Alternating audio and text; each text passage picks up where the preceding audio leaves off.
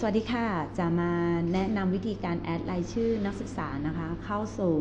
ห้องเรียนใน Microsoft Teams นะคะ ก่อนอื่นเราก็จะต้องมีห้องเรียน Microsoft Teams ก่อนนะคะ วิธีการที่จะให้นักศึกษาเข้าสู่ห้องเรียนทีมทำได้ 2 อย่าง อย่างแรกคือทำเอง กับอย่างที่ 2 คือให้โค้ดเด็ก แล้วเด็กก็ไปเอาโค้ดนั้น เพื่อที่จะได้เข้าห้องเรียนเอง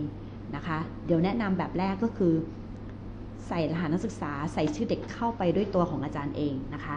ก็จะแนะนำห้องเรียนก่อนสมมุติว่านะเดี๋ยวหนุ่ยใช้ตัวห้องนี้ละกันนะคะ เป็นตัวอย่างคือหนุ่ยก็จะสร้าง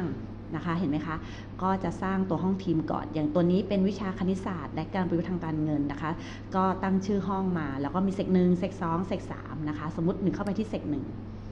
อันนี้คือห้องที่หนุ่ยเซตค่าไว้แล้วนะคะ แล้วก็จะมีช anel โชว์เลยนะคะว่าแต่ละครั้งจะสอนอะไรบ้างตามนี้นะคะ หลังจากที่หนุ่ยสร้างเวลาปั๊บอะเราก็มาดูนะคะวิธีการนะคะอันนี้ขออนุญาตแชร์ให้ดูก่อนนะคะว่าแต่ละแต่ละครั้งก็จะมีเห็นไหมคะมีป้ายประกาศมีแบนเนอร์โชว์ด้วยนะคะว่าแต่ละครั้งจะสอนอะไรนะคะ แล้วก็จะมีเนื้อหา นะคะ ด้วยว่าจะสั่งงานเด็กอะไรนะคะ ซึ่งตรงนี้ก็ไม่ได้ยากอะไรก็คือ Copy แล้วก็ไปใส่ทุกช anel นะคะ คราวนี้สิ่งที่ท่านอาจารย์ได้ถามกันเข้ามาก็คือว่าวิธีการแอดรายชื่อเด็กทำยังไงนะคะก่อนอื่นก็ไปที่จุด 3 จุดทางด้านซ้ายนี้นะคะ เลือก more option นะคะ หลังจากนั้นนะคะเลือกคำว่า add member หลังจากนั้นท่านอาจารย์ก็สามารถที่จะเอารายชื่อของนักศึกษาเนี่ยใส่ลงไปได้เลย จะใส่เป็นรหัสนักศึกษา นะคะ หรือใส่เป็นชื่อก็ได้ เดี๋ยวสมมติลองใส่เป็นรหัสนักศึกษาดูนะคะ อาจารย์ก็คัดลอกทั้งหมดมา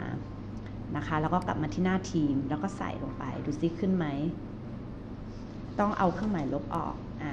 ลองดู นี่มาแล้ว ถ้าเอาเครื่องหมายลบออกจะขึ้นเลย ก็คือตามด้วยเลข 8 ก็จะเป็นสัพพวัตคนนี้นะคะ แล้วเมื่อใส่เมื่อชื่อขึ้นปุ๊บอะคนนี้ใช่ตามใบรายชื่อที่อาจารย์ต้องการจะให้เด็กกลุ่มนี้อยู่ในห้องทีมนะคะ นี่นายสัพพวัต นามสกุลว่าสมบูรณ์นะคะ หลังจากนั้นเราก็กดแอดเสร็จหนึ่งคน แล้วก็ทำคนที่ 2 ต่อนะคะ เท่านี้เองง่าย ๆนะคะ คราวนี้เดี๋ยวลองกลับมาดูนิดนึงนะคะว่าเมื่อแอดแล้วชื่อมันขึ้นยังไง วิธีการเช็คนะคะ ก็ให้มาที่ manage team นะคะ แล้วก็ manage team นี่ก็จะเห็นนะคะ มันซ่อนอยู่ด้านล่างค่ะ member and guest นะคะ เดี๋ยวพอเลือกปุ๊บก็จะขึ้นชื่อสมาชิกนี่โทษทีค่ะ ขึ้นสมาชิกทั้งหมดของเราเนาะนี่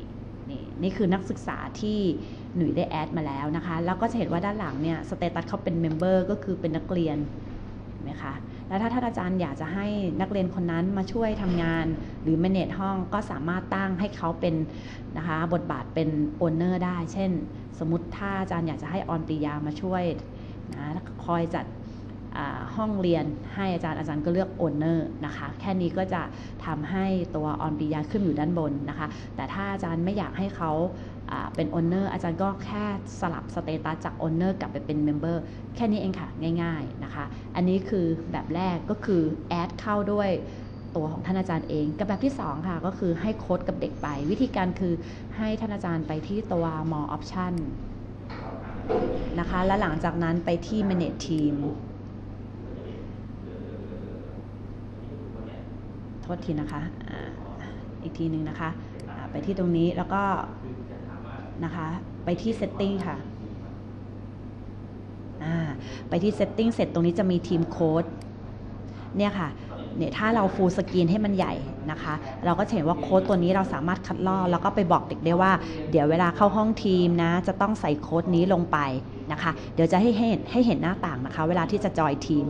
เด็กก็คัดลอกตัวนี้ไปนะคะ สมมติอาจารย์เอาโค้ดนี้ไปบอกเด็กนะคะ นี่คือให้เด็กเข้าเองนะคะ วิธีการทำยังไงนะคะ เวลาเด็กเข้ามาปั๊บเริ่มแรกนะคะ เด็กก็จะเข้ามาที่มุมขวาเนี่ยค่ะก็คือจอยนะคะ นอกจากจาก create แล้วยังสามารถจอยได้จอยเสร็จตรงนี้ไงคะที่ join teamก็ให้เด็กใส่โค้ดนี้ลงไป เมื่อใส่โค้ดนี้มันเด็กก็จะเข้าในห้องเรียนของท่านอาจารย์ได้ เด็กทุกคนก็ใช้โค้ดเดียวกัน มันก็จะเข้าสู่ห้องของอาจารย์ได้เอง โดยที่อาจารย์ไม่ต้องไปแอดทีละคนนะคะ ก็จะประมาณนี้นะคะ โอเคค่ะ